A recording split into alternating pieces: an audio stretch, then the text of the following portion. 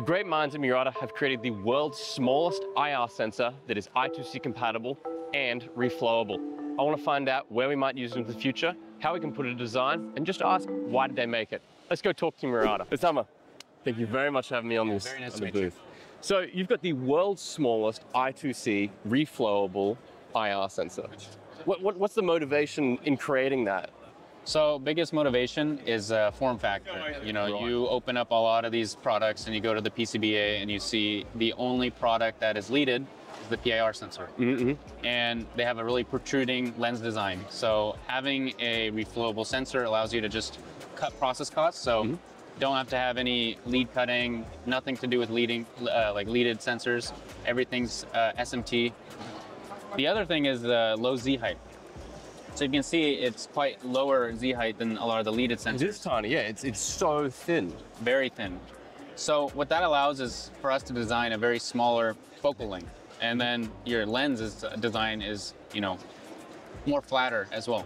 Right. So So we say reflowable, this can actually go through an oven. yes. This IR sensor. Wow, that is stunning.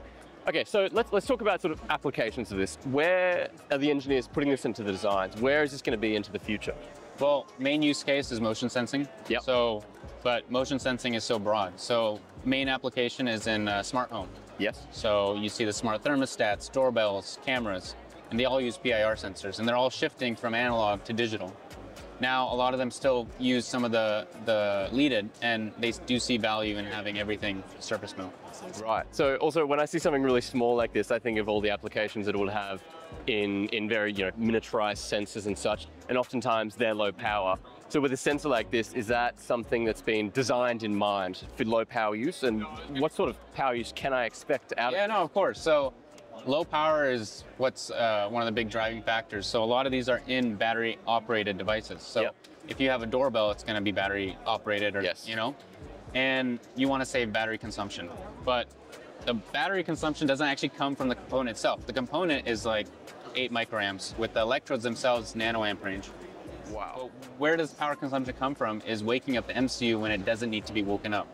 So if you have false readings, false detections that wake up the MCU or tell the camera to start recording when it doesn't need to be, you know, that really draws Yes. a lot of the power. Completely.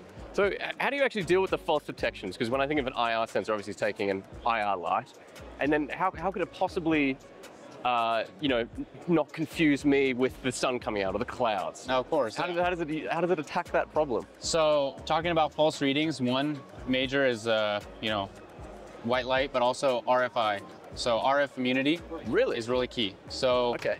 With RF, you know, you have 2.4 gigahertz, 5 gigahertz signals, and that can set off a PIR sensor.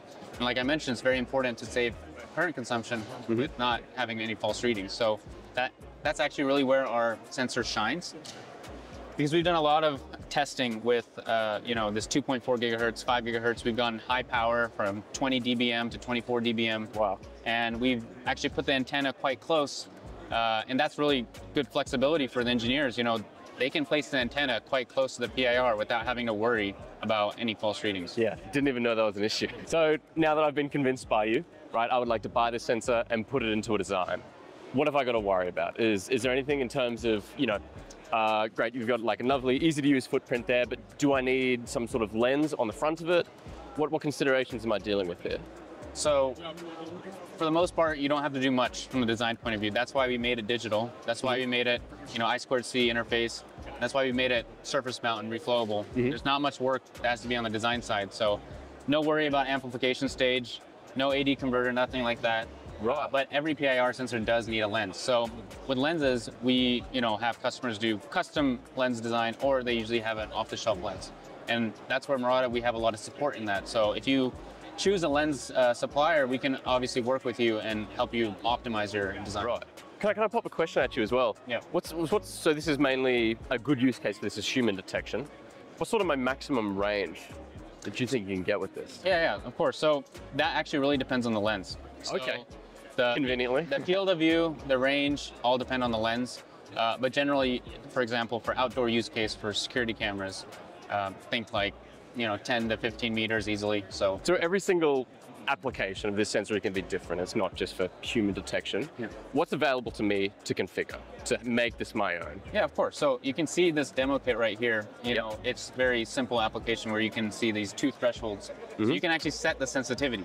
Great. So if you want it more sensitive, you know, you pull in the thresholds. If you want it less sensitive, you pull out the thresholds. Yep. Yep. And what it can do is very configurable, where you can set the window time. You can set how many times it passes the threshold for it to set off the interrupt. So that's really convenient. So it can be how sensitive, however as sensitive you want it to be, mm-hmm. and it can set the interrupt and let the MCU know, hey, we detected motion. Great. Thank you very much for having me on the booth. Yeah, thank you so much. Uh, by the way, where can people find out more about this? On our website, We're on the website. Beautiful. You're also most welcome to come to ipXchange. You can register your interest to check out one of these sensors and we'll get you in touch with them directly.